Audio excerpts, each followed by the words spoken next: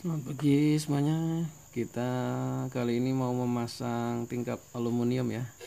Dan ini warna coklat karena ini di dalamnya ada dapur nah, biar tidak terlalu nampak kotor ya. Dia tuan rumah minta warna coklat. Dan cara pemasangannya seperti ini. Oke, ikuti terus. Jangan lupa untuk subscribe, like-nya dan juga komen. Semoga bermanfaat. Terima kasih. Assalamualaikum warahmatullahi wabarakatuh.